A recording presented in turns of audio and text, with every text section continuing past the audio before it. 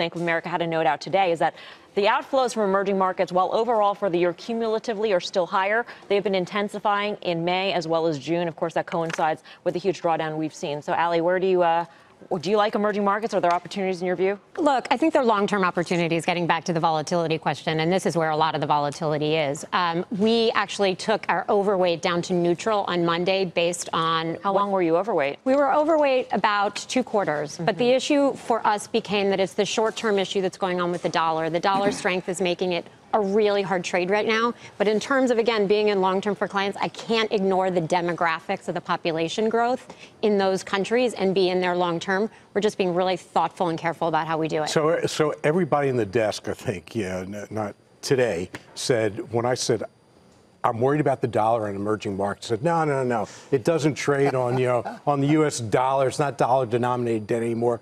That's bull, and we see that now. And, and I agreed with you at the time, by yeah, the way. And, and, yeah. and, you were the only one. I understand. I wasn't here. From afar, Michael Farr. right. But anyway, and you know, anything else you were right about, I agreed with that. exactly, exactly. So you spent a lot of time agreeing with me. a lot of time. That could be like Guess a whole what job. I do today, Steve Weiss. So, so today, I don't think you go in because these are pure momentum trades. They're very illiquid markets, very thin, and I just don't see the value there, and they're impossible to analyze a lot of them. What, what worries me is that there was a time when people were looking for all sorts of yield, whether it be stock market yield or yield on bonds, and people were rushing into emerging markets. Everybody was going to on the emerging debt side, debt, on the yeah. equity side, yeah. right? Funny how and that now, funny how that turns out when, the exit when door a fad can't be big happens enough. like that.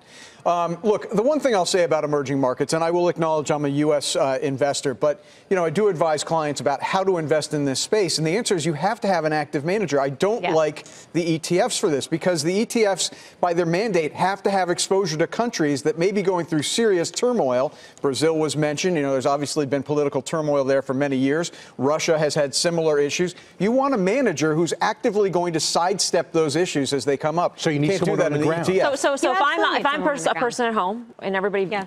watching, not everybody, a lot of people are people at home who are watching, Sure. and I'm thinking, Neville. oh, I could do it myself with an ETF. I get there's EEM, there's EWZ, there's. Well, I you can, there's you all- can, you up, you can can. use the country-specific ETFs, but I do think you want an expert manager. As Steve just said, somebody boots on the ground. Wouldn't you rather, you know, here- here's the, here's wouldn't you rather story. just have an individual name, though? I mean, I, I- everybody always loves to go into this whole thing about the emerging. Oh, I want to be in Brazil. I want to be in this. Do you really, or do you want to be in the individual names that you have work on a it- better understanding of? work That's the it, way I to always pick it. prefer to be in individual names and be a Right, something. hundred percent with I have to disagree with you. the average totally to person- disagree. Oh, Average person at home doesn't need to be in emerging markets at all. I mean, Is there anything better than a good old US of It A? It, well, it, you if the, uh, they're no, they're just you, you don't need the risk. You don't need the complexity. If you have the big mega cap stocks that are trading uh, uh, in multinational mega corporations with solid balance sheets and earnings, you're going to get plenty of thinking of- are you diversification. thinking of a company in a- a- particular? around the world? Google. Uh, would be a company that's trading around the world. Johnson and Johnson's a company that trades around the world. I mean, I think there are a couple, lots of Pepsi Cola, which a lot of people don't like right now, and I continue to like only because it's a little bit out of favor and it tends to be very solid. How about an international company listed here in the United States? Like Ababa? Yeah. Yeah, I mean, I, I think there's plenty of different names. You can go to the individual names to get the exposure that you want. But I'd rather be in those individual names than be in the big ETFs. I don't want to get dragged down because the financials in China are going down, and meanwhile, Baba's executing it the right way. But but here but here's the real message from EM, and that's what China's doing. They're preparing for a trade war.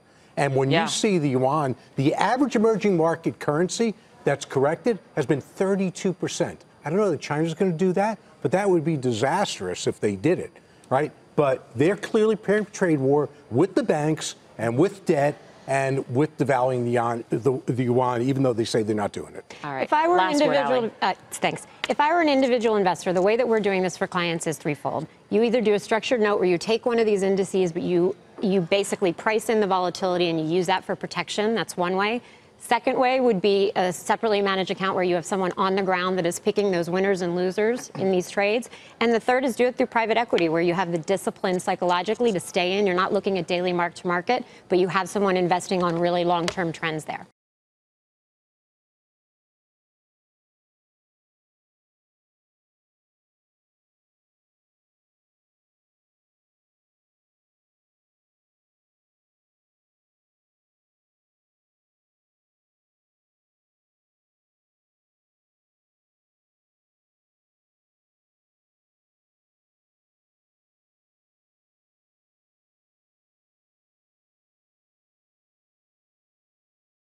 Hey there, thanks for checking out CNBC on YouTube. Be sure to subscribe to stay up to date on all of the day's biggest stories. You can also click on any of the videos around me to watch the latest from CNBC.